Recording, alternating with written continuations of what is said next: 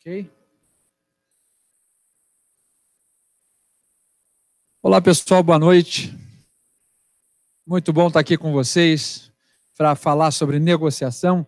Eu vou, eu tenho uma hora de conversa com vocês. A ideia é que eu traga alguns elementos aqui na nossa palestra e depois eu vou ter meia hora para nosso debate, para alguns pontos específicos. Vocês fiquem à vontade, tá legal? É claro que a ideia no início é que vocês é, participem, fiquem à vontade. Qualquer questão que vocês tenham, independentemente de esperar o final, fiquem à vontade para a gente conversar. Bem, eu sou Guilherme Miziara, o pessoal me chama aqui só de Miziara, e aí vocês, é, eu trabalho aqui na Fundação Dom Cabral há cinco anos e há 12 anos com a parte de comunicação e negociação.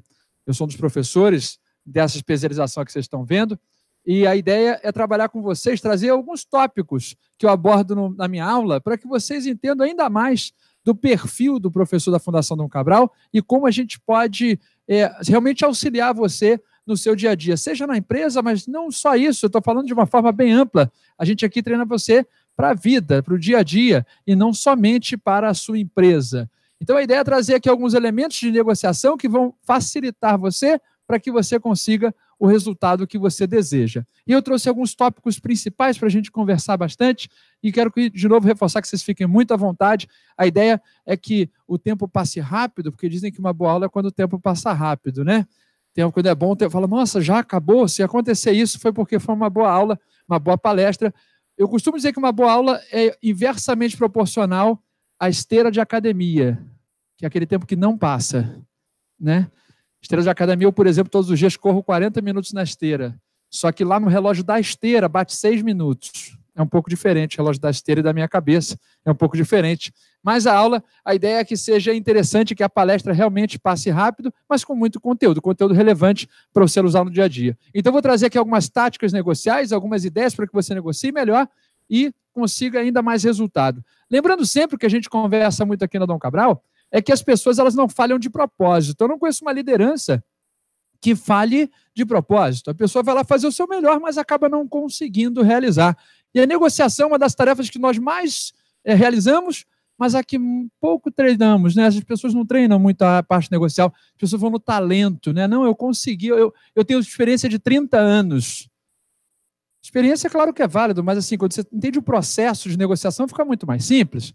Eu vou dar um exemplo para vocês para a gente entrar aqui e depois eu vou passar alguns slides com algumas, algumas características, mas só para exemplificar, eu, é, uma vez eu estava em casa e chegou um amigo meu e falou assim, o nome dele é Alan, ele falou assim, é, vamos entrar numa aula de natação? E eu falei assim, não, Alan, porque eu já sei nadar. Eu nadava há 15 anos, eu tinha uma piscina no meu condomínio. Pode acontecer de uma pessoa aprender a nadar sozinha? Pode acontecer? Pode, não, eu nadava sozinho, tinha uma piscina no condomínio. Ele falou, vamos, vamos entrar numa aula de natação? E eu falei assim: não, porque eu já sei nadar. E esse meu amigo ele veio argumentar comigo, ele veio negociar comigo para entrar na aula de natação. A ideia era que a gente fizesse uma travessia chamada Travessia dos Fortes, que tinha aqui no Rio de Forte, Copacabana, Forte do Leme, 4 quilômetros. Eu acabei fazendo duas vezes, mas eu falei, pô, não, porque eu já sei nadar. E esse meu amigo veio argumentar comigo, na aula de negociação fala muito sobre argumentação, mas amigo argumenta de uma forma um pouco diferente do que eu converso na aula. Como é que amigo argumenta comigo? Ele falou assim, pô, vamos, pô, qual é, pô? Vamos lá, pô, que isso, pô? Comigo, pô, que isso? Assim, pô, vai deixar, pô? Que isso, pô? Foram argumentos tão bem estruturados que eu aceitei, né? Foram tão bem trabalhados que eu aceitei. De novo, na nossa aula é um pouco diferente os argumentos, tá? Estou falando só aqui dando exemplo amigo com amigo. Na Dom Cabral é bem diferente esses argumentos, a gente vai falar mais. E eu fui à loja de natação, chegando lá, o professor falou assim, o professor Rogério falou assim, é, você sabe nadar? Falei, nado há 15 anos. Ele falou, nossa, praticamente um profissional. Falei, praticamente. Falei, então me dá uma ideia de o que você nada, assim. Falei, eu vou no mar, eu vou em piscina que não dá pé. Ele falou, nossa, você nada bem mesmo, né? E ele falou assim, nada até outro lado para observar como você nada. É assim que a gente faz, né? No primeiro momento, alguém que já praticou natação? Já? Primeiro dia assim, né? Se você fala que sabe nadar, eu cheguei do outro lado. Ou seja, estou comparando com a sua experiência negocial. Essa é a nossa ideia, né? a gente faz no dia a dia. E aí eu cheguei, nadei, sabia nadar, Cheguei do outro lado, quando eu cheguei do outro lado, o professor virou para mim e falou assim: Olha, miséria, eu tenho uma informação importante para te passar. Falei, o quê? Ele falou: É que você está confundindo nadar com sobreviver ao meio líquido. E eu fiquei um pouco chateado porque eu nadava há 15 anos. O que eu quero reforçar com vocês é que, claro que a experiência ajuda, né? mas quando a gente sabe tecnicamente como nadar, eu vou nadar melhor. Negociação é uma habilidade como essas. Eu preciso entender o processo, eu preciso entender como as coisas funcionam para conseguir o resultado que eu quero. E as pessoas não erram de propósito, elas não falham de propósito numa negociação. Ninguém negocia para ir mal, para o cliente perder dinheiro ou não conseguir um resultado na empresa. As pessoas não negociam assim. A intenção é a melhor do mundo, mas acabam falhando em coisas que não percebem. Então, aqui, a ideia é trazer não só esse autoconhecimento, mas saber com quem eu negocio para conseguir ter os, ganhos, ter os ganhos sem tanto desgaste emocional. Só para ver se o que eu estou falando tem sentido, eu vou trazer só um elemento fora da negociação. Alguém aqui já assistiu alguma vez na vida uma palestra ou uma apresentação ou num congresso uma pessoa que ficasse lendo os slides para o público? Já viram isso em algum momento? Já? Com exceção da Dom Cabral, que é a única exceção no mundo. Todas as outras instituições têm isso, não é verdade? Tirando a Dom Cabral, a única exceção mundial, que a gente não tem esses professores aqui que ficam olhando slide, é a única. Bastirana Dom Cabral, você já viu isso muitas vezes, não já? Também já vi muitas. A minha pergunta a você é a seguinte: quantas pessoas vocês conhecem que falam assim, ó, ler a tela para o público é a melhor maneira de informar alguma coisa? Ninguém? Eu também não. Então, calma aí que nós temos um problema. Se quase todo mundo já viu e ninguém acha a melhor forma, é possível que a pessoa ou não domine o conteúdo, que eu acho difícil no caso de uma aula, numa palestra, mas é que a pessoa não percebe o que faz. Se ela não percebe, ela vai continuar errando a vida inteira. Você conhece, por exemplo, pessoas que têm um vício de linguagem? A pessoa fala assim, né? Pode ser, né, que de repente, né, no meio, né, do seu discurso, né, as pessoas, né, tenham mais dificuldade, né, de entender, né, os pontos, né, mais importantes, né? Por mais que o conteúdo, né, seja o mais relevante, né? Fala, meu Deus, eu não vou aguentar até o final, preciso ir embora. O que eu quero mostrar a você é que o ruído chama mais atenção do que a mensagem principal. Na negociação é a mesma coisa. Se você não percebe onde erra, as pessoas vão começar a olhar o ruído e não prestar atenção no que é relevante. Nós quero falar hoje com vocês sobre não só a sua forma associada ao conteúdo, mas algumas táticas negociais que você pode utilizar para conseguir resultado, mas se usarem com você, como você sai delas. Esse é o objetivo da nossa conversa e quero fechar com alguns, alguns aspectos da emoção sobre a razão. E emoção sobre a razão é o seguinte: eu vou falar de uma coisa, é possível que eu não impacte a maioria aqui, mas não tem problema, é só para exemplificar. Por exemplo, emoção sobre a razão. As nossas decisões não são 100% racionais, não é verdade? Senão seria ótimo, mas não é assim que funciona. Então vamos lá. Você acredita que tem gente que, por exemplo, sai, pra, sai de casa e faz um. pensa no seu mínimo, assim, o máximo que tem a pagar. Tá? A pessoa sai com limite. Não, não posso passar desse valor. E você não vai acreditar no que eu vou dizer, mas é verdade. Acredita que tem gente que faz compra por impulso? Você tem noção? A pessoa programou, disse que não dá. E faz compra por impulso. Você acredita que fora dessa sala tem muita gente que faz isso? Essa sala não tem. Mas olha só, então o que prova que se você planejou alguma coisa, não adianta só planejar. A emoção acaba influenciando a sua decisão. Então a gente vai conversar sobre todos esses aspectos aqui e eu quero que vocês fiquem à vontade para qualquer comentário. Então, sempre lembrar que na negociação é, eu, a negociação ocorre a todo, a todo instante. Vocês concordam com essa afirmativa? Né, que acontece toda hora, a todo momento nós negociamos. Eu, por exemplo, é, primeiro, ah, primeiro você negocia com você para depois negociar com o outro. Importante entender que primeiro você negocia na sua mente para depois negociar com o outro. Imagine o seguinte: vou dar um exemplo. A menina vem andando no shopping e ela vem e olha uma vitrine, acha um vestido lindo demais. E ela se aproxima fala: Nossa, que vestido lindo. E ela olha o preço, mil reais. Eu falo, Nossa Senhora, é lindo, mas nem tanto, né? Mil reais. E ela dá dois passos e ela pensa assim: Mas para que, que eu trabalho? para que, que eu me mato naquele escritório? E ela volta, eu mereço. E ela volta. E ela olha e fala: Nossa, mas são mil reais, né? Nessa, a vendedora sai e fala assim: Olha, a gente está fazendo em dez vezes sem juros. Era mil, foi para cem. Rapidinho ficou barato, entendeu? Então a pessoa até o momento da chegada da vendedora, a pessoa estava negociando com ela mesma, o tempo inteiro na cabeça dela, o tempo inteiro na cabeça dela mesma. Então, a negociação ocorre a todo instante, acontece na hora que você acorda até a hora que você vai dormir. Ai, manda esse e-mail agora, manda depois, é o tempo inteiro. É uma habilidade que nós precisamos, gostando ou não, querendo ou não, nós vamos ter que utilizar. Então é bom que saiba como, que tenha isso tecnicamente como funciona. Eu, por exemplo, todos os dias praticamente, só para dar um exemplo como é todo dia mesmo, o dia inteiro, eu negocio com o meu despertador. Impressionante, todos os dias praticamente negocio com o meu despertador. Eu sempre peço a ele, quando ele toca, eu peço cinco minutos. Cinco minutos. Só que é muito fácil negociar com o despertador no outro ser humano, só o ser humano pode negociar. E aí, quando eu negocio com o meu despertador, dá mais cinco minutos. E aí, o que eu faço quando ele toca de novo? mais cinco minutos. Eu peço mais cinco minutos, mais cinco minutos, mais cinco minutos, meia hora. O despertador nunca reclamou, nunca falou assim, ô, oh, por que você não bota para meia hora depois, já que você tem que acordar depois? Nunca fez isso. Porque só o ser humano é capaz de negociar. Tem ser humano que esquece isso, né? Age como os outros animais, esquece que pode negociar. Mas a gente pode negociar. E algumas negociações pedem algumas decisões mais drásticas. Lá em casa eu tenho aquele despertador antigo que você tem o botão soneca, sabe qual é esse? E algumas decisões precisam ser bem drásticas para que você não tenha problema e não falte a sua aula, por exemplo. Então tome cuidado, né? Algumas, claro, são algumas decisões drásticas que você não precisa ir tanto. Mas falando ainda de negociação, trazendo os pontos principais da nossa, os aspectos da nossa conversa aqui, eu vou trazer itens para você utilizar já amanhã. A ideia da nossa especialização é que você traga elementos para já utilizar no dia, colocar em prática, né? E que seja de forma leve. A ideia é claro que a gente precisa aqui trazer o conteúdo, mas você não precisa conhecer toda a metodologia da escola de Harvard para entender sobre negociação. Isso é minha função.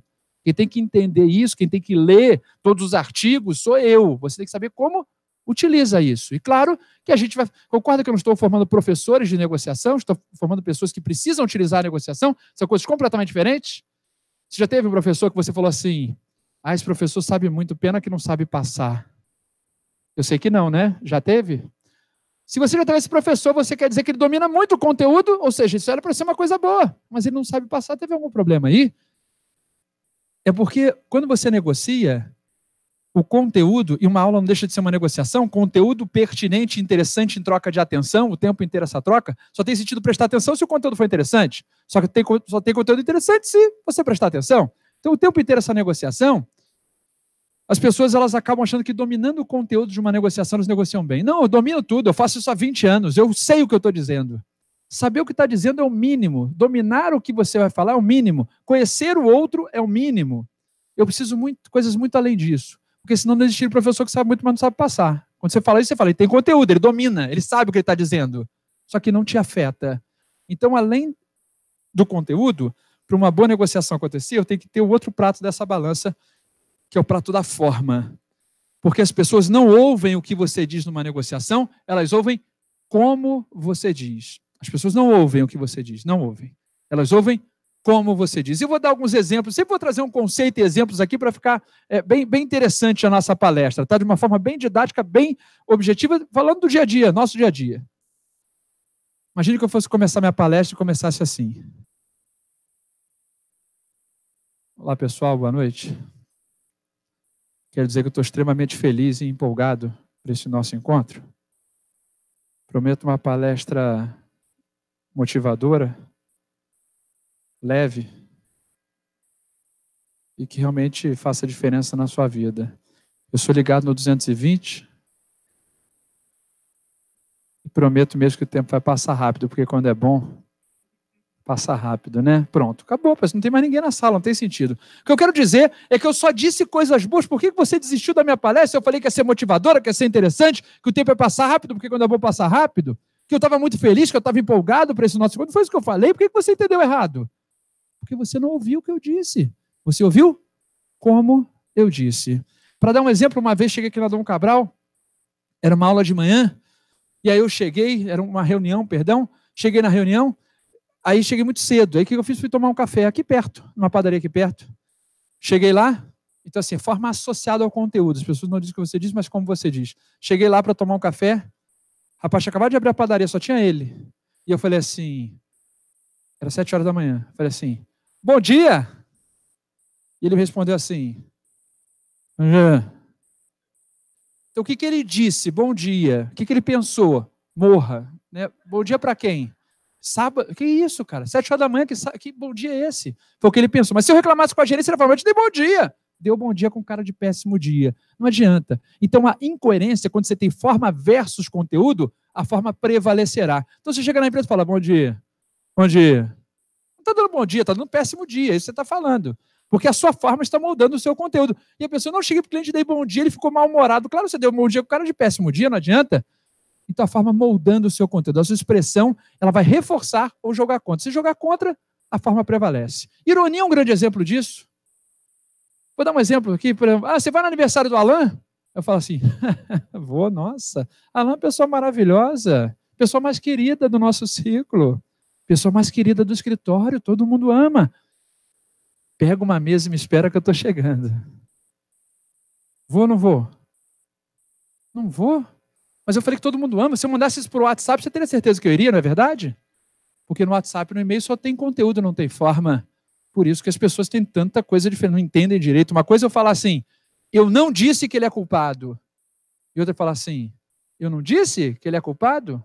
É o mesmo conteúdo, só muda a forma. Então, a forma como você vai trazer, a forma como você vai influenciar, tem a ver com muito mais com a forma do que exatamente com o conteúdo. Conteúdo é o mínimo que eu espero de um bom negociador. É o que ele tem a dizer. Só para a gente fechar essa parte de forma e conteúdo, falei das expressões corporais e faciais, mas também o tom de voz influencia. Eu estou falando de itens que vão influenciar diretamente na sua negociação, que não somente a mesa negocial, todos os detalhes. Deixa eu falar aqui de negociação avançada, de todos os elementos que compõem a sua negociação. Eu vou fazer uma pergunta simples e eu quero que você pense na resposta. Combinado de não verbalizar, só pensar na resposta, todo mundo. Combinado assim, de não, não falar, porque é uma pergunta simples, eu não quero que você influencie os outros, tá legal? Sabendo ou não, respondendo ou não, só na sua cabeça, tá legal? Então vamos lá. Quantos animais de cada espécie Moisés colocou na arca? Pensa. Todos pensaram? Resposta é óbvia, resposta é zero. Né? Resposta é zero, porque eu perguntei quantos animais de cada espécie Moisés colocou na arca até ontem tinha sido Noé. Mantém Noé? Mantém? Não? Meu Deus, errou? Meu Deus, eu estou assustado agora, muita gente que errou. Meu Deus, tem certeza? Calma aí, desculpa. É uma pergunta muito simples. Eu perguntei quantos animais de cada espécie Moisés colocou na como é que você erra uma coisa dessa? Eu agora fiquei um pouco assustado. Não tem problema. Essa frase é de um autor de um livro chamado Rápido e Devagar. O nome do autor é Daniel Kahneman, ele é prêmio Nobel. E ele fala que tem o sistema rápido que você associa coisas e tem o que você mais lento que você precisa processar.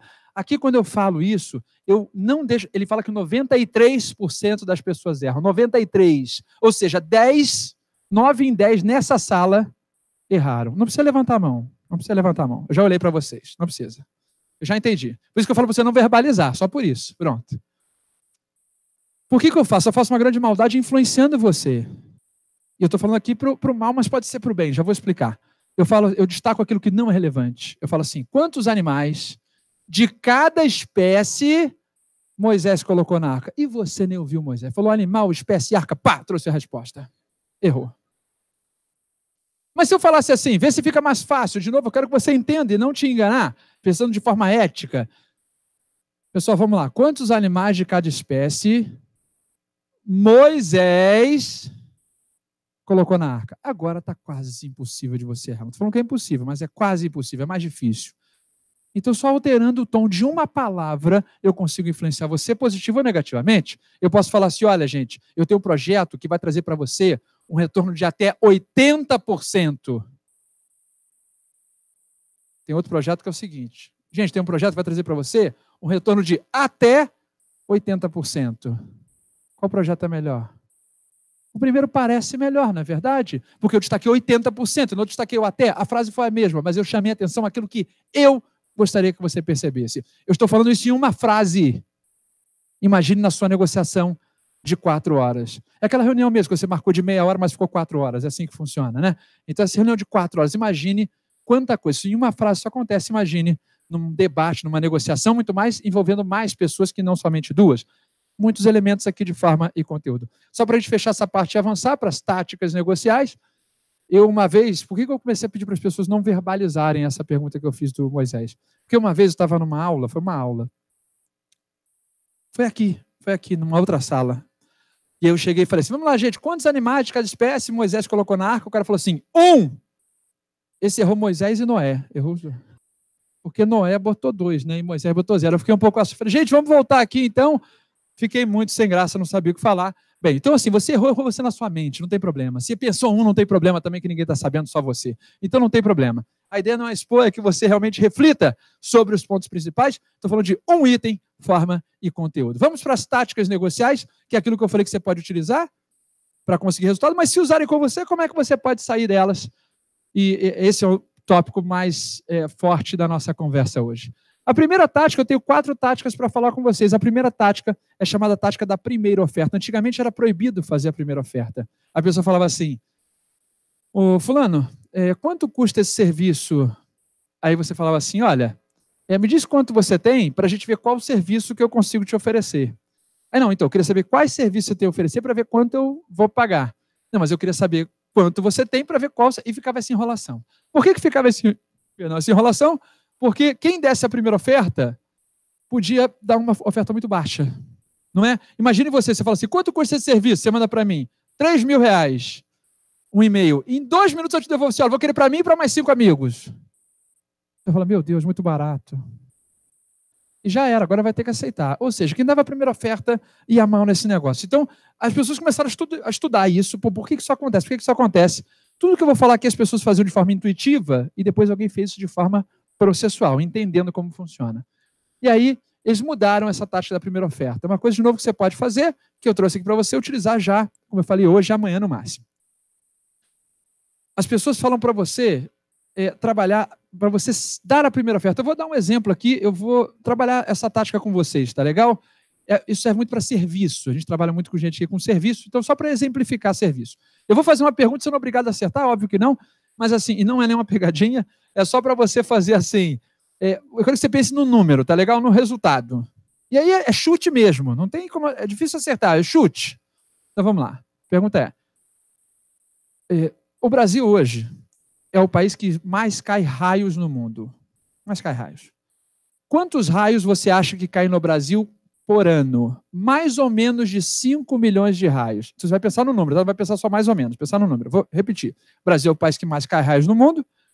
Eu quero que você, no território nacional, quantos raios você acha que caem por ano? Mais ou menos de 5 milhões de raios. Pensaram na resposta? Pense, pense no número, além de mais ou menos um número. Pensaram? Vamos lá. Eu quero que. Eu falei mais ou menos cinco minutos. Eu quero que levante a mão quem pensou acima de 10 milhões de raios, por favor. Uma pessoa. Acima de 20 milhões? Ninguém? Sem problema. Essa é a tática. A tática da primeira oferta também conhecida como tática da âncora. Vou trazer os elementos aqui, sempre exemplificando. Hoje no Brasil caem mais de 50 milhões de raios. Mais de 50. Só que quando eu jogo na sua cabeça mais ou menos de 5 milhões, você tende a rodar perto do número que eu te dei como referência, aquilo que para você virou uma referência. Eu vou pegar alguns exemplos nesse sentido, tá? Então você começa a trabalhar. Dificilmente eu pegar 50, se eu falei 5, você é girar ali próximo. Imagine, é, é, quanto é que custa uma. Vou, vou inventar um negócio, tá? Uma, uma, um programa da Fundação do Cabral. Aí vamos lá. A pessoa fala assim: 50 mil. Concorda que alguém, dificilmente alguém fala assim, faz por três. Concorda que está meio sem sentido? Fala, oi, o que, que foi? Não, as pessoas vão negociar ali próximo, não é isso? Então eu vou ter uma referência. Claro que para serviço, como eu falei, fica mais fácil que se você tiver um concorrente de produto, fica mais difícil acontecer. Mas é uma referência. A tática da âncora. Eu vou jogar na sua cabeça um valor para você trabalhar em cima. Vou dar um outro exemplo. Você vai ao cinema. Aí você vai lá comprar uma pipoca. Aí você tem três possibilidades. Pipoca pequena, 22 reais. Pipoca média, 23 reais. Pipoca grande, 24 reais. Quem vai comprar a pequena? Mas a pequena não está ali, ela está ali só como uma âncora. Eu sei que você não vai comprar. Eu só mostrei a pequena ali para mostrar que a grande é interessante para você. Na verdade, é o preço da grande. Eu só joguei mais para cima as outras para te dar a ideia de que a grande você tem vantagem, mas o preço da grande é 24. Na verdade, eu poderia botar 24 a, a, a grande, 20 ou 18 a média e 12 reais a pequena. Ia ficar mais difícil, ia comprar a pequena. Eu ia ganhar menos dinheiro. Eu vou pegar um exemplo para falar da âncora, que é você posicionar na cabeça da pessoa que você gostaria. Eu consigo um. um ah, tem um pilão aqui. Eu, não, eu vou fazer um, um, tamanho legal, o pessoal lá de trás só me ajuda, tá? Ver se está num tamanho legal. Teve uma revista The Economist que fez a seguinte promoção.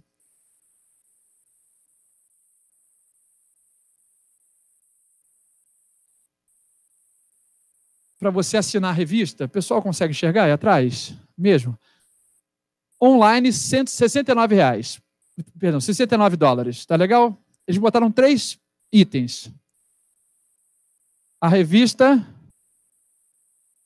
física, ou seja, impressa, 125. E eles fizeram uma promoção. Física mais online, 125. Tá legal? Então eles fizeram e botaram na rua a promoção. 69 online, física 125 e física mais online 125. Tem algum desses três aqui que você acha que ninguém comprou? Física, não é isso? Então vamos lá. Física, realmente, essa é a pergunta mais difícil da minha aula. Mais difícil. Vocês acertaram. Viu como é simples? Negociação muito simples. Zero, ninguém. Ah, e aqui, você acha que teve alguma que vendeu mais? Nesse caso aqui, olha o que aconteceu.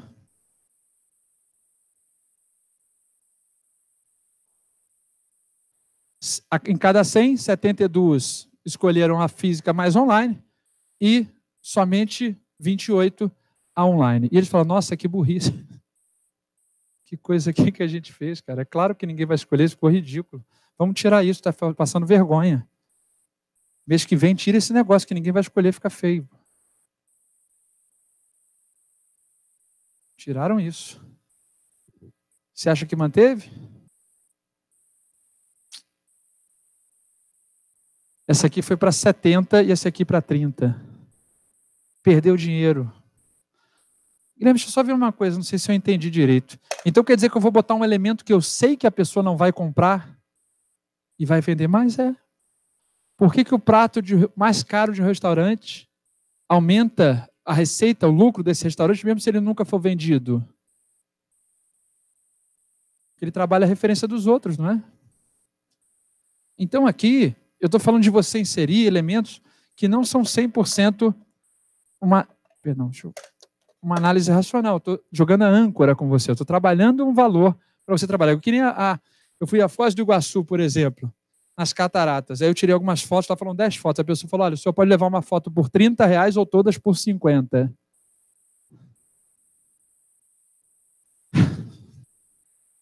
Tomei uma âncora, não tem jeito. Não tem jeito. Vou fazer o quê? Você acha que uma foto custa 30 reais? Óbvio que não. Só que ela estava vendendo as outras, não era isso? É assim que funciona. A gente vai de forma automática muitas vezes. Porque de repente só precisava de uma foto, era melhor pagar de 30. Mas ela é muito mais cara porque ela não é o valor certo, a pessoa joga para cima. Na sua proposta de trabalho, por exemplo, tem gente que manda três opções. Eu vou vender o que eu quiser, não é que eu, o que eu queira direcionar para você ver vantagem em alguma delas. É assim que funciona. Se a pessoa te pedir uma proposta, ao invés de passar um valor, você passa dois. Dá uma opção fica mais fácil da pessoa ter uma referência de o que vale a pena nesse sentido. Então, a proposta, a, a ideia da tática da âncora, você jogar um valor para depois a pessoa negociar. O que acontece muito na tática da âncora é o seguinte: a pessoa chega e, e faz assim. É, a pessoa joga uma contra-âncora. Vou dar um exemplo. Imagine que chegasse aqui e aí falasse assim: tem um professor aqui da casa, professor Rony, é um cara, uma referência aqui na, na Fundação Dom Cabral. Imagina então que chega assim, professor Rony, ele foi lá fazer uma palestra. E a pessoa, professor, quanto custa a sua hora-aula? Vou dar um exemplo. Ele falasse assim: a hora de um treinamento, mil reais. E aí ele me contou uma vez que ele foi, a pessoa, ele falou mil reais. E a pessoa falou assim: nossa, professor, muito caro. Mês passado veio aqui um ministro do Supremo Tribunal Federal e cobrou 300. Vê o que você faz lá para gente. Concorda que quando a pessoa faz isso, a sua tendência é chegar mais próximo ali? Do Rony chegar e falar assim: olha, então, ó, batalhei e não consegui chegar a 500. A pessoa vai fechar, porque aqueles 300, ele sabe que não vai alcançar. Mas a ideia é diminuir a quantidade de rodadas de negociação. Eu sei, sabe que vai chegar a 300, está fora. Mas a pessoa conseguiu 50% de desconto. O que que Rony, sabendo, fez? Falou: olha, eu consigo para você 950 não foi na âncora do outro, entende? O outro, quando joga uma âncora, ele pode trabalhar na sua cabeça isso. Uma, de uma aluna daqui, ela, a empresa dela fabrica portões para grandes condomínios. 45 mil cada portão. O rapaz chegou para ela: olha, eu queria contratar seus portões, mas eu só tenho 25 mil. Eu, eu, na verdade, eu tenho aqui 25 mil de um outro concorrente, um concorrente. Não é o mesmo portão, não tem a mesma qualidade, mas me atende. Vê o que você consegue fazer para mim, que eu queria fechar com você. O que a pessoa fez? Jogou 35. Jogou lá embaixo, tirou toda a margem em uma reunião, entende a ideia? Joga lá embaixo. Dificilmente a pessoa fala assim, não, faça 44, porque o outro já falou que tem uma saída. Então, uma âncora que trabalha em cima de você. Você depois tem que jogar a contra-âncora. Eu falei, né, não impactar, não ser impactado por essa, por essa referência que a pessoa botou para você. Então, são algumas ideias que nós conversamos aqui da primeira oferta, de trazer para você posicionar onde vai começar a negociação. A negociação limitada, ela é bem parecida com a âncora. Eu vou comentar aqui. A pessoa. Perdão. Negociação limitada é quando você fala alguma coisa, você passa uma proposta e a pessoa diz que não tem. A âncora, ela joga um valor lá embaixo.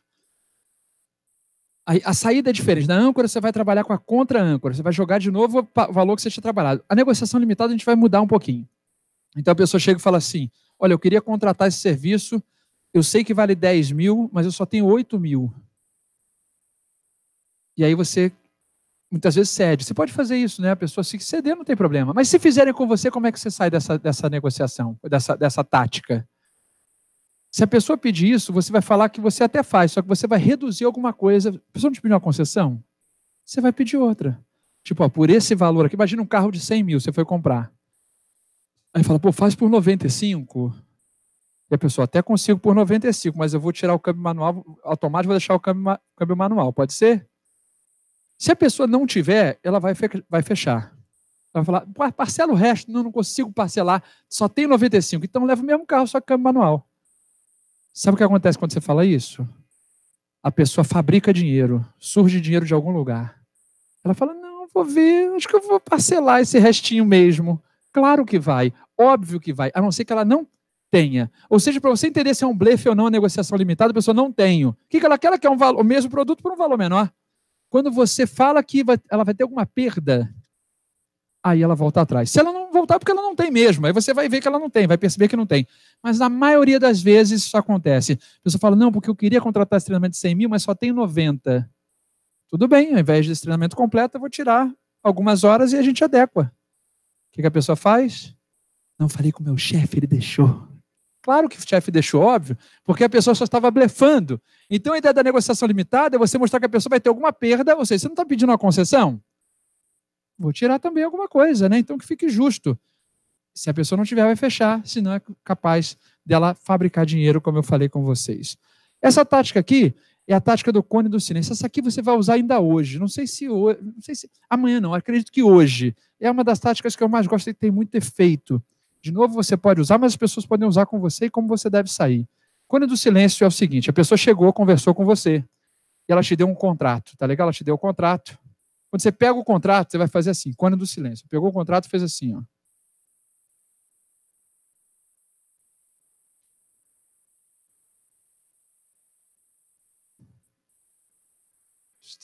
Cinco, dez.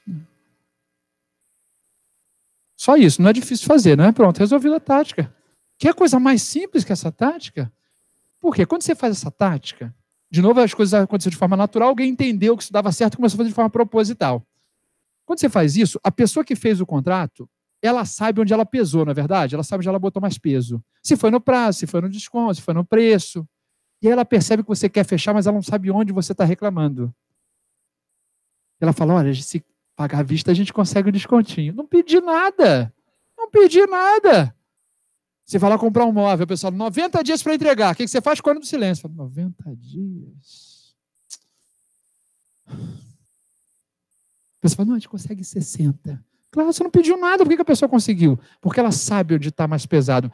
Não dá para você perguntar, porque você não sabe. A pessoa que vai dar um ponto fraco. Vou dar um exemplo que aconteceu lá em casa. E não precisa ficar com pena, é só um exemplo aqui que aconteceu que você também não pode ser lesado, né? Essa é a nossa ideia. Cheguei lá, o eletricista fez toda a parte da minha casa, fez toda a casa, e aí ele chegou e, e aí eu precisei de duas tomadas na parede para o quarto do meu filho e no meu quarto. Eu esqueci para botar a televisão, esqueci de pedir a tomada. Eu cheguei para ele e falei, ô fulano, quanto é que você cobra para botar duas tomadas aqui na minha casa? Ele virou para mim e falou assim, cobro 100 reais. O que, que eu fiz? Cone do silêncio.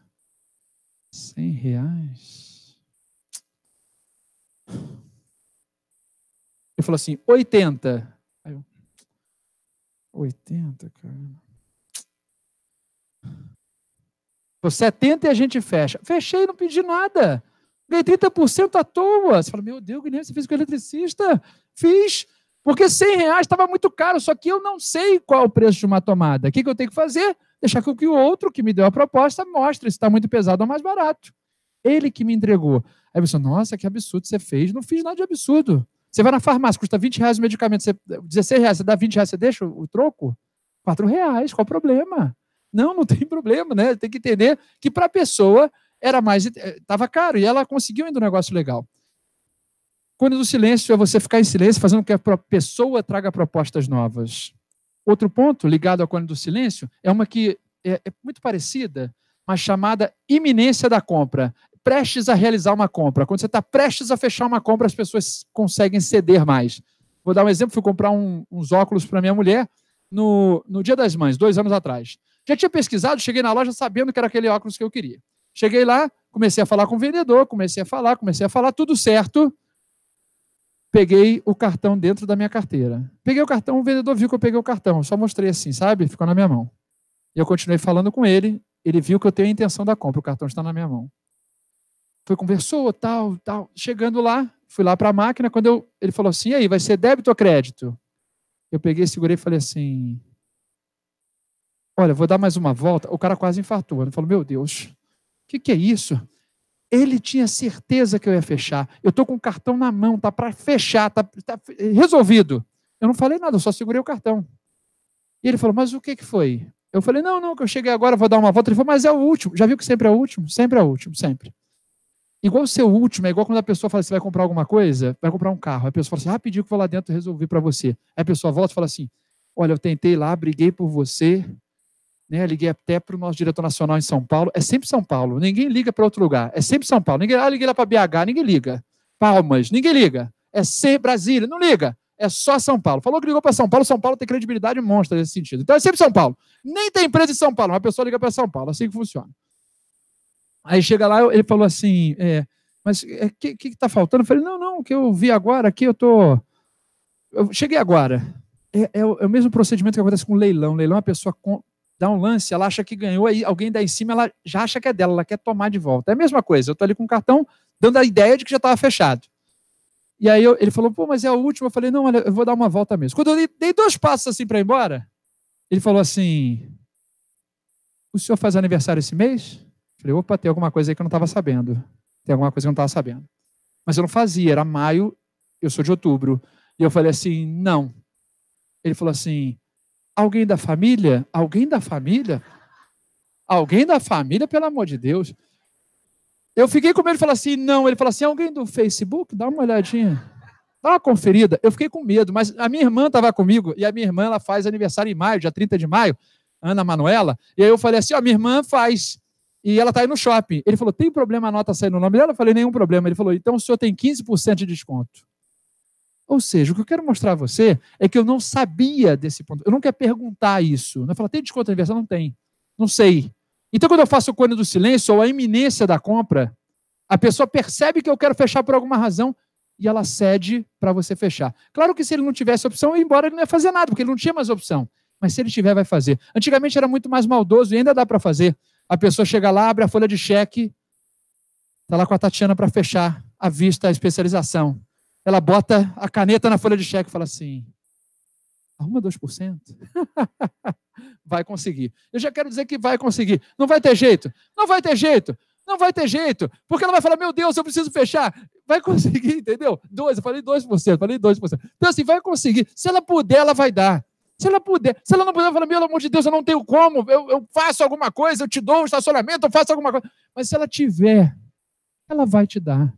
Porque ela percebe que você está com a folha de cheque ali, com a caneta em cima. Só precisa assinar. E nesse momento as pessoas conseguem um bom desconto ou conseguem uma nova concessão. Já conseguiu tu, já conseguiu 5%, você bota a, a, a caneta e fala assim: ao invés de 5, me dá 6. Para fechar, meu amigo, se puder, vai fazer na hora iminência da compra, prestes a realizar uma compra. Eu estou no limite ali, e aí faço isso e tem mais uma concessão. Tá legal? Uma nova, é uma outra ideia. Então, quando do silêncio e iminência da compra, são táticas novas que você pode utilizar, mas cuidado para não usarem com você. Se usarem com você, quando do silêncio, porque, por que as pessoas falam? O silêncio incomoda demais, as pessoas ficam nervosas, querem falar alguma coisa. E aí falam: o que, que foi? Tá, tá, tá muito caro? Era tudo que eu queria ouvir. Era tudo que eu queria ouvir. Olha, o prazo ficou muito longo. Era tudo que eu queria ouvir. Agora eu já sei que dá para mexer. Só que eu não sei, então deixa que você fale. Essa é a ideia do, essa é a ideia do do silêncio. Se a pessoa fizer com você, o que você vai fazer? Ou silêncio, se você aguentar, o que é muito difícil, a pessoa fica assim, meu Deus, preciso falar alguma coisa, a pessoa fica nervosa. Ou você vai falar, bem, então tá tudo aí que a gente conversou, podemos avançar? Então tá tudo que a gente conversou, agora é só a gente fechar aí para mês que vem você já está segurado. Pronto, acabou. Você vai trazer coisas objetivas. Não entregue pontos fracos. Vamos para a nossa última tática para depois eu falar da emoção sobre a razão. Até aqui nesses pontos, tudo tranquilo, gente, da conexão aí com o dia a dia de vocês, tudo certo quanto às, às táticas negociais, forma e conteúdo das táticas. Eu tenho mais uma tática que fala da emoção sobre a razão.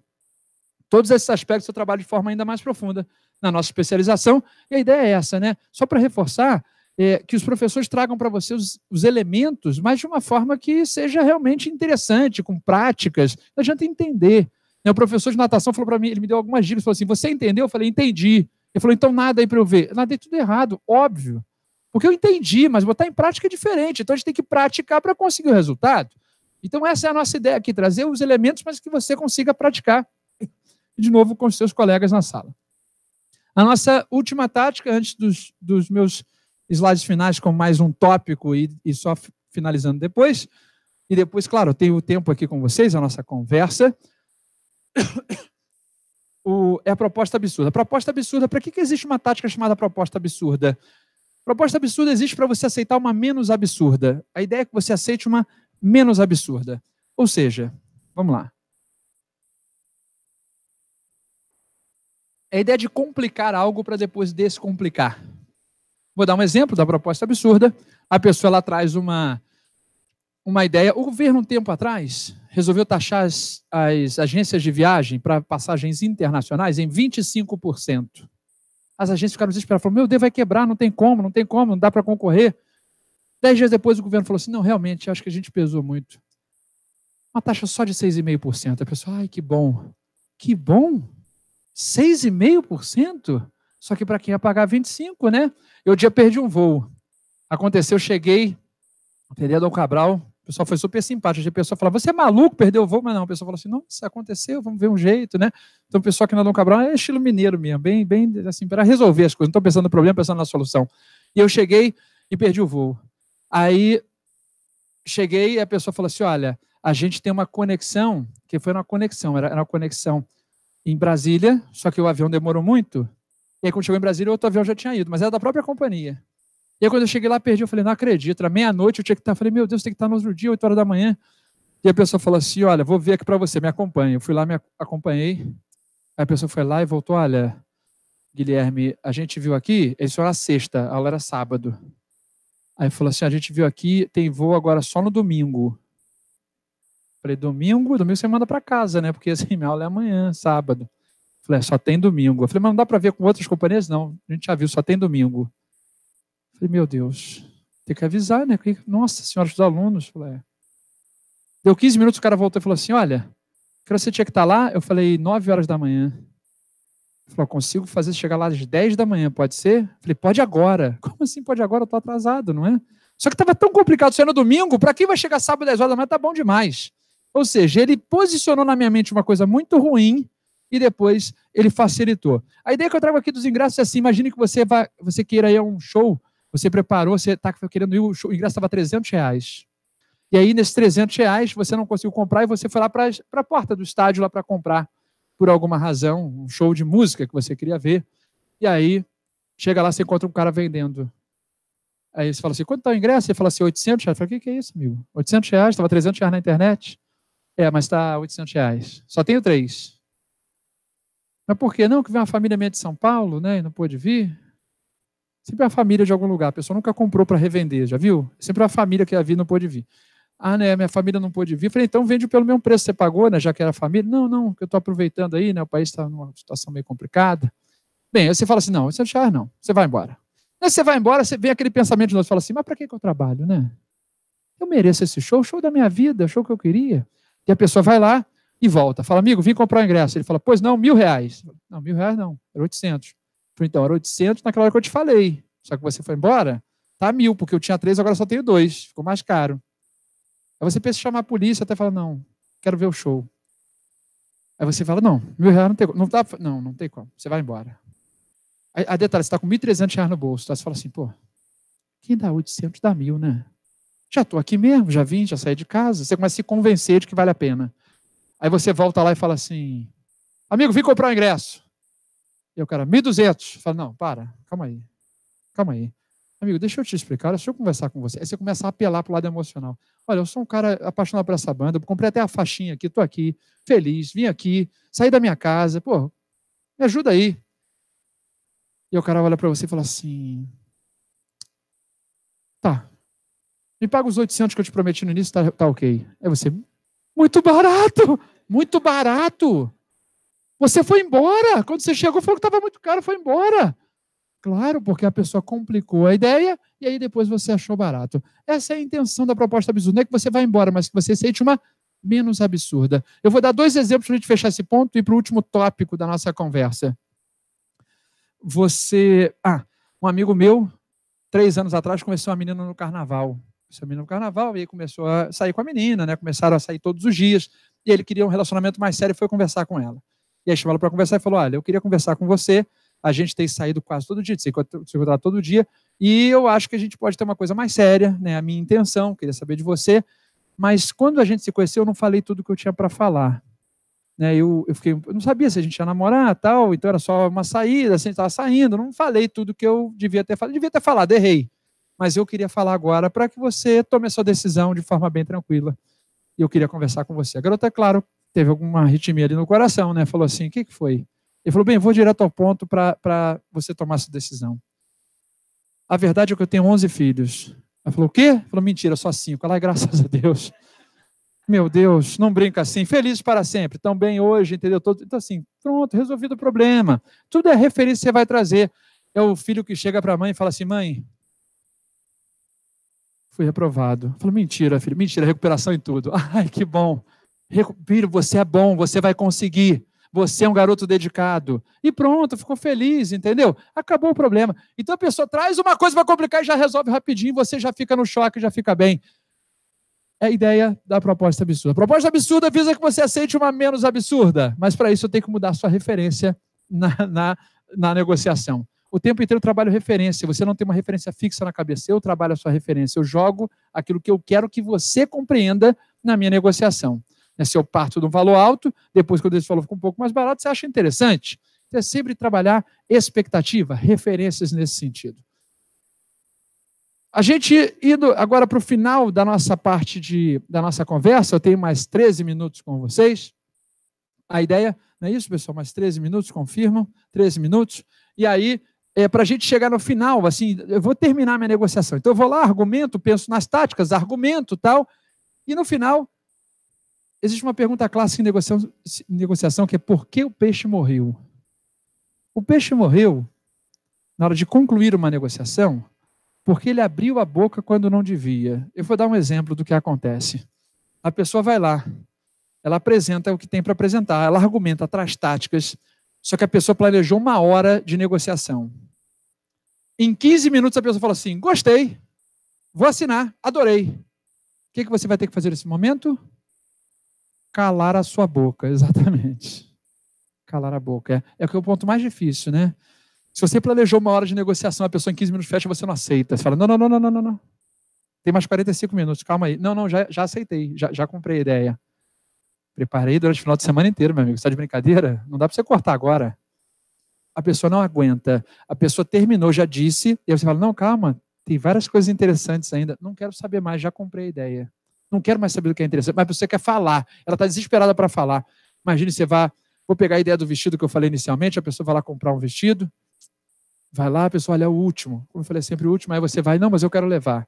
Aí na hora que você está levando, a pessoa fala, olha, você fez uma ótima compra, para você ter ideia, só hoje eu vendi mais de 500 dele. Está super difícil de encontrar agora.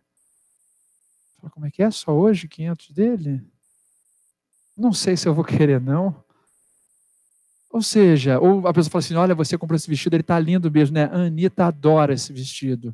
Se você for fã da Anitta, ótimo. Se não for, arruma um problema. A pessoa falou: gostei, o que você vai fazer? Assim, ó. Não diga mais nada. Qualquer coisa que você disser poderá ser usada contra você. Então, não preparou 15 horas, em 10 minutos a pessoa falou, adorei, assina, acabou, fala mais nada. Não é tão simples assim, não é? Se fosse simples, não teria que falar isso. A pessoa fica desesperada, fala, não, calma, estou no começo da apresentação ainda. Tem muita coisa legal. Já comprei a ideia, né? E aí, concluindo a negociação, eu tenho depois mais um tópico falar da emoção que eu falei com vocês. Concluindo a negociação, quando você termina a negociação, já que eu não posso fazer isso, já que eu não posso interromper, o que, que eu devo fazer? eu tenho como não concluir a negociação inicialmente. Então, como não concluir, que é como a maioria conclui. Com a conclusão conhecida como conclusão. Seu Jorge e Ana Carolina. É a conclusão? É isso aí. Né? A pessoa fala, bem, é isso aí. É isso aí, é isso aí, é isso aí, é isso aí. O que, que é isso aí? Como é que você termina a negociação falando é isso aí? Naquela música deles, né? É isso aí. A pessoa faz uma homenagem à MPB no final da negociação, não tem sentido? Então não posso terminar falando, bem, é isso aí, porque isso aí não garante nada. Como é que eu termino uma negociação? Só termina, né? assim também não termina, não adianta. Uma negociação termina assim, com assinatura, com um acordo, com algo que você realmente garanta que você chegou a um consenso, um acordo. Fala, bem, é isso então, hein, ó. A confiança, hein? Vou aguardar, hein? Olha, isso aí é para as relações pessoais, mas as relações comerciais, mercadológicas, não é o ideal. Então, terminando com a assinatura do contrato. Indo para o nosso último tópico, é para você ter cuidado com a armadilha emocional. Falamos de muita coisa aqui, da influência, do, do entendimento, todos esses aspectos, mas cuidado para você não surtar em alguns momentos na negociação. Quando as pessoas vão te irritando numa negociação, que tem gente que te irrita de propósito, porque quando você se exalta, você que sai de errado numa negociação. Imagina, você está lá negociando e a pessoa está assim para você, ó.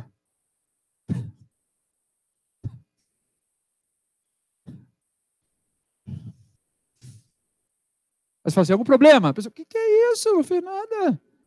Que louco, estou aqui parado. E a pessoa dá de, de, de louco. Aí você que sai de desequilibrado emocionalmente, sabe? Fala, que isso? Eu estou aqui só ouvindo, o cara deu um ataque. Quem se desequilibra numa negociação sai de desequilibrar, de, de sem inteligência emocional, sem maturidade emocional. Então, deixa eu falar aqui quando alguém começar a te irritar, que você passa por uma por algumas fases que eu quero conversar, que será o último item da nossa conversa. Você passa por essas fases aqui quando você alguém te, te estressa numa negociação. Essa curva foi extraída da curva do luto, quando você perde alguém importante para você. Mas aqui é, a administração pegou e trouxe ela, quando eu fiz meu mestrado de administração, o professor trouxe ela dizendo que ela fica no máximo em dois minutos, não passa de dois minutos. Então, luto são dias, meses, anos, às vezes, e essa curva aqui ela é uma curva mais curtinha para uma negociação. A gente tem que ter cuidado, saber qual fase que você está. Bem, eu vou trazer um exemplo prático. Qual a ideia aqui? É que você precisa ganhar tempo. Emoção versus tempo. Quanto mais tempo eu ganhar, mais chance de eu ter atitudes racionais e não emocionais. Você já recebeu um e-mail mal criado? E você teve que levantar para não mandar de volta? Você, de forma intuitiva, passou por aqui. Você entendeu que precisava ganhar tempo. Porque se você não ganhasse tempo, você podia depois se arrepender. Falar, meu Deus, o que eu fiz? Mas já era. A curva, essa curva aqui da emoção versus tempo. Eu vou trazer um exemplo do cotidiano só para mostrar como funciona. Você passa por todas essas fases de forma rápida. Imagine que eu fosse sair daqui, eu fosse passear com a minha família, fosse viajar, fosse para o aeroporto com a minha família, e de repente chegasse aqui e fizesse assim. Perdi a chave. Perdi a chave, fase 1, choque. É aquele mini infarto que você tem, sabe como é que é? Aquele que você acha que deixou o celular na mesa do restaurante e fala, ah, não está no bolso. É aquele momento, aquele que você pá, sente naquela hora. Você botou e falou, opa, falou, meu Deus, a chave, cadê? Rapidamente você vai para a fase 2, que é a fase de negação. Você fala assim, não, não, não, não, não, não, não, não perdi com certeza. Saltei aqui na porta, não tem como. Não tem como, está aqui na porta, não tem como. Vim aqui, andei para cá, não tem como. Está na fase de negação. Nesse momento, não recomenda-se que alguém traga soluções. Por quê? Porque você não aceitou que perdeu ainda. Então imagina que eu estou aqui, meu Deus, cadê, não sei o quê, e aí chega alguém e fala assim, quer pegar Uber? Chama para você. Não, obrigado. É que a minha chave, eu vou viajar com minha família, está tudo dentro do carro. Mas obrigado aí pela, pela ajuda. Obrigado. Estou procurando aqui. Mas está aqui, com certeza. Eu não, eu não, não saí daqui, está aqui. Você está procurando, a pessoa vem assim e fala assim: Tem seguro? Chaveiro? Quer que chame chaveiro? Não, obrigado, é que eu tô. É que eu tenho que ir agora, vou sair daqui a pouco. Obrigado, mas valeu aí.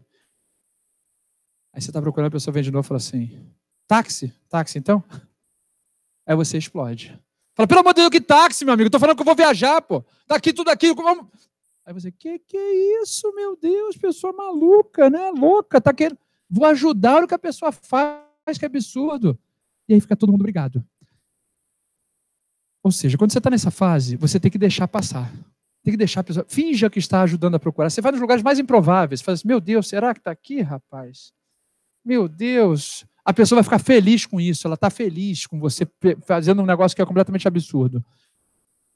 Daqui a pouco a curva começa a descer. A curva começa a descer. Aí você chega para a pessoa e fala assim: você não vai acreditar. Perdi minha chave? Você fala, meu Deus.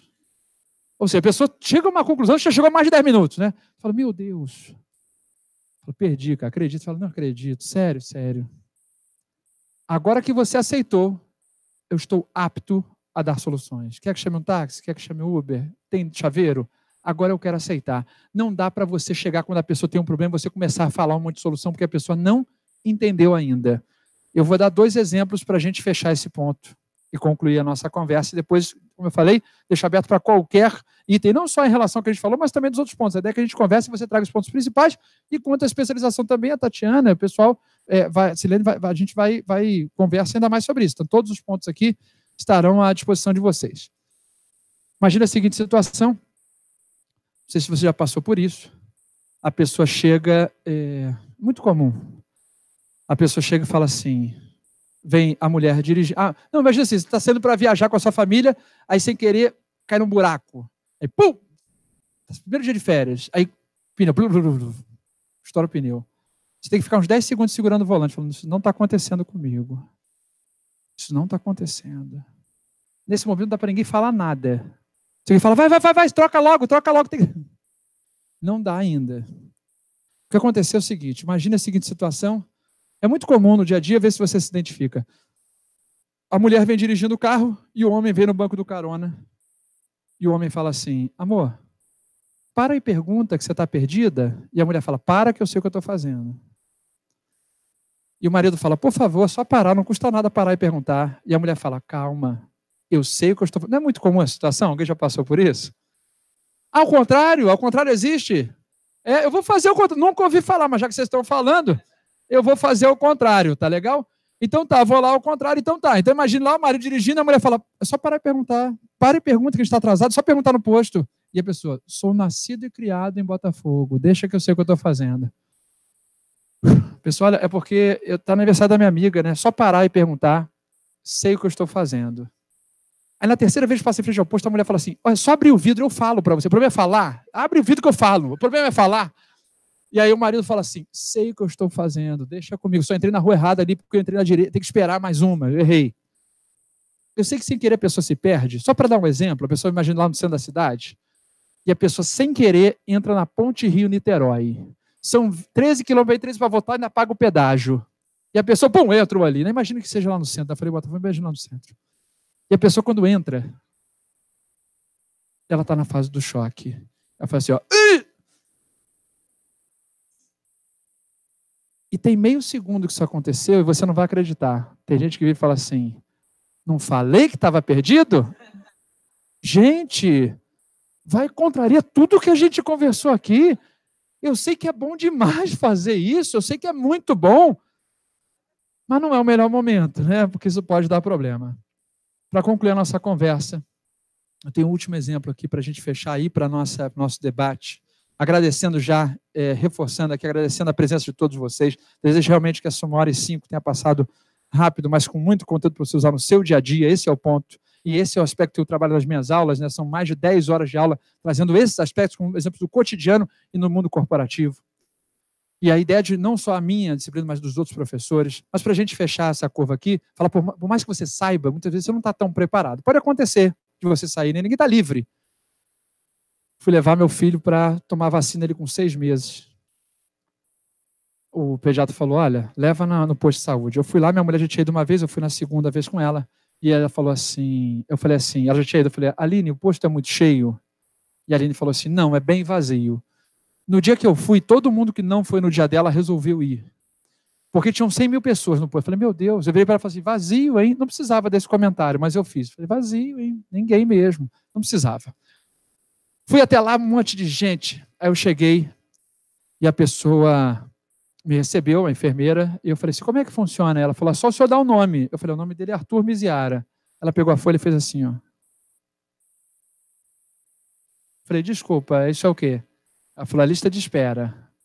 Eu falei: ah, tá, só para eu ter uma referência, quanto tempo mais ou menos? Ela falou assim: ah, umas duas horas. Eu falei: tá ótimo. Fui lá, o Arthur, daí comecei a conversar com minha mulher, o Arthur começou a chorar, minha mulher foi amamentou ele, parou, a gente ficou lá conversando, no clima bom. Em uma hora e meia a pessoa falou assim, Arthur Miziara, eu falei, nossa, muito rápido. Rápido. É âncora, né? Duas horas. Disney faz isso, fila de duas horas. Fala, nossa, fiquei uma hora e vinte, muito rápido. Uma hora e vinte parado. É rápido, não pode ser, mas a âncora na sua cabeça faz com que você tenha uma boa experiência. Então, sem problema, falou uma hora e meia. Eu falei, nossa, já! Cheguei lá, botei o Arthur na maca. Quando botei, a enfermeira estava de costas, pegando aqui a vacina. Ela virou para ele. Aí quando ela virou, olhou para ele e falou assim: Ele mamou? Eu quase disse não. Eu falei, não. Três dias que não come nada. Era a minha vontade de falar. Só que porque eu sabia que por trás daquela pergunta havia algo muito complicado. Porque eu sabia que aquela pergunta tinha alguma outra intenção. Isso em negociação chama-se pergunta laço. Quando a pessoa pergunta uma coisa e depois ela vem e fala assim: Você vai ficar em casa hoje? Você fala, vou. Fica com o meu cachorro que eu vou sair? Pronto, já era. Você vai ficar em casa, agora já deu. Então pergunta laço assim, não sei, estou pensando. Fala isso, porque a pergunta laço já era. Minha mulher fala assim: esses móveis nossos estão velhos, né? Eu falei, tão mesmo. Vamos hoje comprar novos? Já era, eu já falei que estava velho, entendeu? Então pergunta laço. Ela falou assim para mim: ele mamou? Confesso, se fosse comigo, ela falou: sete dias nem água eu bebo. Se fosse comigo, mas era meu filho de seis meses e eu fiquei com medo, eu fiquei olhando para ela. Falei assim: mamou. E ela falou: então, o senhor tem que esperar duas horas. Aí foi o choque. Aí eu tomei, falei: meu Deus. Aí eu quase desmaiei. Aí eu fui andando, falei: meu Deus, não é possível. Aí eu comecei a reclamar. O que, que, é isso, pelo amor de Deus? Não, olha só, a senhora não me avisou. Eu não sou obrigado a saber. Eu sei que a senhora trabalha aqui, mas eu não sou obrigado a saber. Ninguém me falou nada. Tinha que ter uma placa aqui dizendo que não pode amamentar. Sugeri no posto de saúde: não amamente seu filho. Foi a placa que eu sugeri. Não amamente seu filho. Tinha que ter uma placa dizendo que não pode. Olha só, a sou completamente descontrolada, né? O que, que, é isso? Não tinha que ter uma placa dizendo que não pode amamentar. E eu comecei a reclamar. A enfermeira fez o que deve ser feito. Próximo, vamos lá. Falei, o que, que é isso, gente? Eu não sou da área de saúde, não sou obrigado a adivinhar. A pessoa tinha que falar. Aí fiquei reclamando. A outra mãe chegou lá, eu fui, peguei meu filho, saí da sala. A porta era aqui, eu cheguei, saí, colei na, na parede e fiquei assim com o Arthur no colo na fase de negação. Falou assim: não está acontecendo comigo. Isso não está acontecendo comigo. Um monte de coisa para fazer, isso não está acontecendo comigo. E eu quartou no colo. Minha mulher saiu, sentou aqui na frente, eu estou com ele no colo aqui. E a mulher olha para mim e fala assim: Está revoltadinho? Eu falei: O que, que foi? Não sabe ser pai, não? Pai é assim. Gente, eu nada fiz, eu estava tão tonto que eu não consegui nem responder. Eu só quero mostrar a você que não era o melhor momento, porque eu ainda estava com a curva subindo. Espere a curva descer. Depois que desceu, eu fui lá, conversei, a gente foi, conversou, ficou ótimo, passou horas, duas horas, depois não amamentou, e aí ele foi lá e tomou a vacina. É entender que a gente passa por isso o tempo inteiro.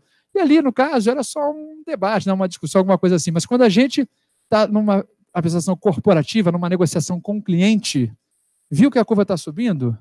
Falou assim: olha, eu tenho que fazer uma ligação, já volto, coisa de dois minutos, eu preciso fazer. Olha, recebi uma ligação urgente. Olha, vou pegar uma água rápido para a gente. Qualquer coisa assim fará com que você volte àquilo que realmente você foi lá definir. Você não foi lá para definir quem está certo e quem está errado numa negociação. Você foi para solucionar um problema. Achar quem é o culpado não interessa. Eu preciso que você encontre a solução para o problema.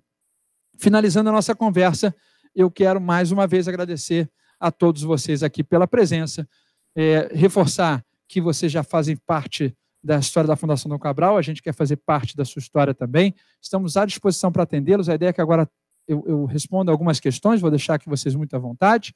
E a ideia é que a gente converse, né, que traga os pontos mais relevantes do nosso conteúdo, né, o conteúdo não só da especialização quanto da palestra encerra aqui, mas a ideia é que a gente converse para trazer os pontos ainda mais relevantes para o dia a dia de vocês. Então, desejo realmente que tenham aproveitado essa experiência, que tenham é, é, falado assim: olha, valeu mesmo ter ido lá, ter ouvido tudo isso para participar e não só usar no seu dia a dia. Eu agradeço demais mesmo a sua colaboração e a sua presença e espero encontrá-los nas turmas da especialização. Muito obrigado, tá?